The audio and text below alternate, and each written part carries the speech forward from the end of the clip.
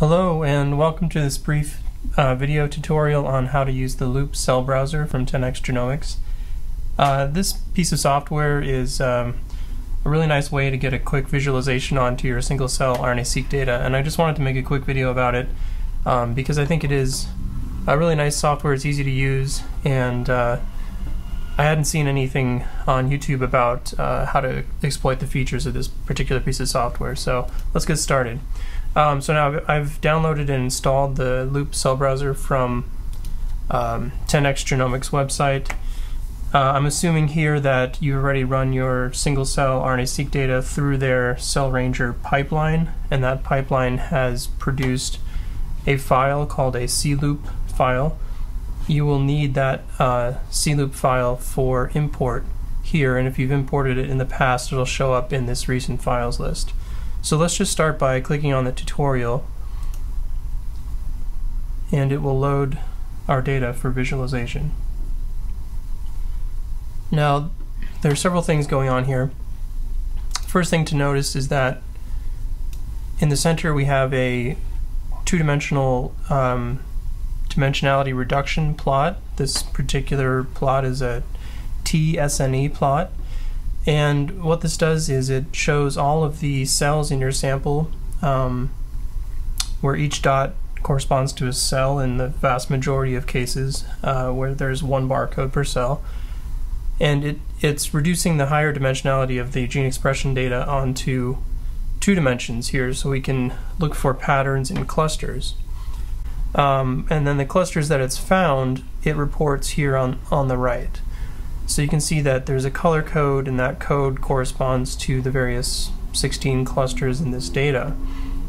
You can turn individual clusters uh, on and off by selecting this check mark next to each cluster. It also tells you how many um, cells are in each cluster and that um, percentage of the total, which is pretty nice. Now below this central projection, uh, you have uh, by default is a heat map showing uh, graph-based log2 changes for each cluster. So each square here is a gene. Um, if you want to get a list of genes that define the clusters, you can do that by switching from the heat map view here to the gene table view. And then as you select each cluster, it will show you a list of the most significant genes that are upregulated that define that cluster. And you can scroll through that. So this is telling us, for example, that cluster 1 is uh, defined by the LCK gene, which is highly significantly enriched, CD2, LTB, etc. And you can explore this for every cluster that it has detected and you'll notice that the genes on the left here are changing uh, as you select each cluster because each cluster will be based on different um, most significant genes. So CCL5 here etc in this case cluster 7 only has a couple of genes that rise to significance. Now on the right you can select some options about this gene table you can display uh, the log two-fold change or the average expression. You can look at up, down, or all significantly different genes per cluster. Uh, up is selected by default. You can also export a CSV table from this. Uh, going back to the plot, you'll notice that you can hover over individual uh, cells, and you can also zoom in and click and drag. On the left here you have a toolbar that uh, gives you some options for selection, zoom in and out, uh, auto scaling, and then you can also um, swipe up and down on your mouse or on your trackpad to zoom in and out as well. If you want to select a group of cells, you can do that by selecting the lasso, for example. Now you can assign them to a new category of your own choosing, which is a nice, uh, a nice feature. If you want to save the changes that you've made, you can do that here. So if you define a new cluster, for example, and you you want that uh, to be saved, you if you if you save it, next time you open up the cloupe file, that change will be saved. You can also export the tsne image to uh, a JPEG file for inclusion in a grant or a paper.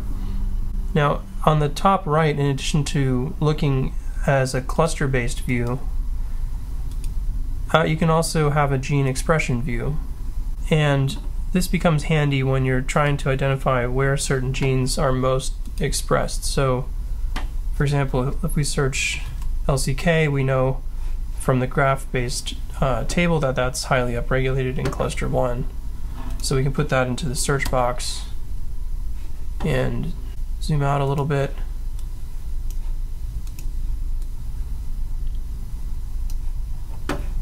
And you can see that cluster 1 and LCK expression are correlated. Uh, going back to the categories view, you can also do the split view here, which takes each cluster and puts it in its own box. So this is another way uh, to look at the data. You can scroll around with this and zoom in and zoom out as well.